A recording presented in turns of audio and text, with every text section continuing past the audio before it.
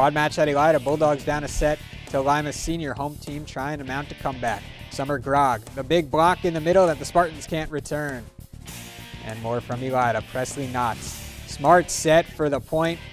Good court awareness right there for the Bulldogs. But Lima Senior regains control. Samantha Kusi, the power and the point, and then her teammate Naomi Curtis throws it down, and the Spartans sweep Elida two to nothing the final.